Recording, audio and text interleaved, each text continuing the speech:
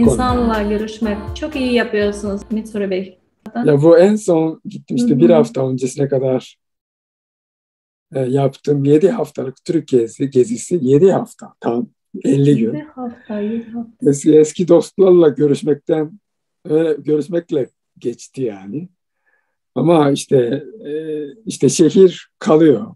Doğa hele 10 bin sene daha aynı şekilde kalacak ama insanlar hep gider, gider. İşte hmm. onun için e, özellikle yaşlı insanlarla devamlı görüşmeye çalıştım. Ben. Çünkü e, ben de yaşlanıyorum. Yani yaşlanıyorum gerçekten. Ve e, hayatımın en bilinçli yıllarını yaşıyor şu an, yaşıyorum şu anda. Ama vücut yaşlanıyor. Beyin öyle değil. Daha genç gibi duruyor ama. evet. Dolayısıyla benden daha 5 yaş, 10 yaş, 20 yaş büyük insanlar, yaşlı insanlar çok kıymetli. Onun için görüşmeye çalışıyorum. Çünkü bir daha görüşmeyebilirim diye. Genç insanlar daha o kadar bilinçli değil. Ve daha çok yaşayacak. Ve çok daha, daha, daha çok tecrübe kazanacak ama yaş, yaşlı insanlar öyle değil. Onun için yaşlı insanlara çok önem veriyorum. Evet. Bu da mesaj olsun gençlere aslında. Tabii gençlerin derdi başka. Gençlerin evet. başka o kazanmak lazım, böyle yapmak lazım. Doğru. Şimdi evet. gezmek için beş tane şart var biliyor musunuz? Beş şart. Beş. Nedir onlar? Tane, say bak, say. Lütfen, Hadi bir sayalım. Tane. Bilmeye çalışayım. Beş tane şart. Evet. Sağlık tabii ki. Evet, bir tane. Sağlık. İstek? İşte istek çok, istek olmasa Ayrı zaten bir şey hiçbir şey yapamam. Hmm. İstek ya merak falan. Evet, merak, istek. Merak, istek. Evet, evet, istek yani tabii. Evet. Sağlık, istek, e, merak. Üçüncü e, para, finans, para lazım. Para, tabii para. Para, para da lazım evet. Bedava gezemezsin. Zaman Hı hı. Zaman para lazım. lazım. Maddi durum. Dördüncü ne? Zaman.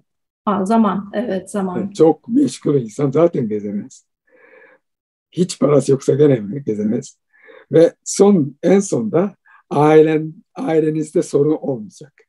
Hmm. Yani biri hasta olarak yatıyorsa, biri kaza geçirmişse veya anne veya baba ölüm ölüme doğru giderken gezemeyiz. Tabii, tabii. Yani bu beş tane bir arada olacak ki gezesin.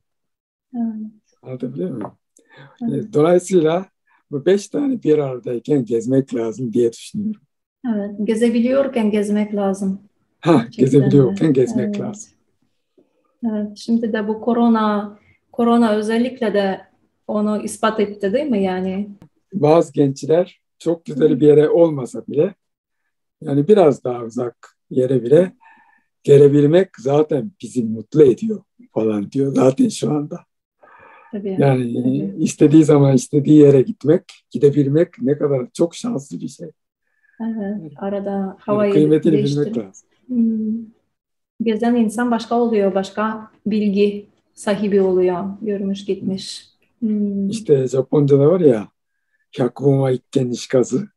Yani işte yüz duymak, yüz okumak bir şeye beter yani. Bir gözüm görmeye, gezmeye. Bir, bir görmeye, evet. Kendi evet. gözünle görmek. Bizde de var. Ya başka bir şey.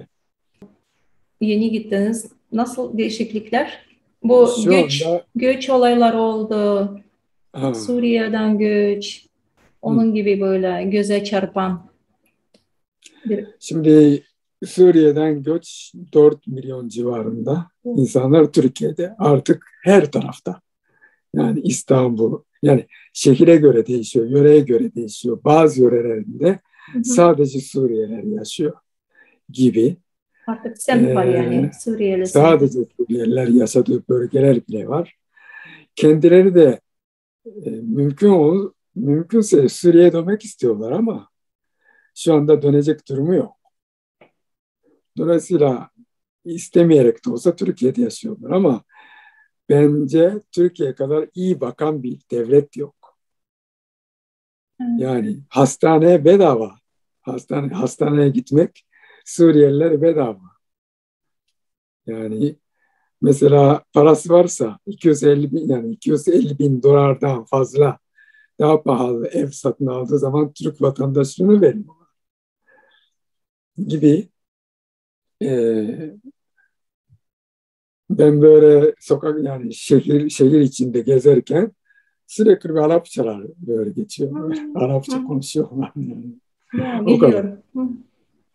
Türk nüfusunun ilk 20 kişide bir Suriyeli şu anda. 20 kişinin bir 20'de bir Suriyeli. Yani çok bence. Yani inşallah e, Suriye tekrar eskisi gibi olur da isteyenler dönsünler diye düşünüyorum. Onlar için de daha iyi. Tabii, tabii kendi ülkelerine geri dönmeleri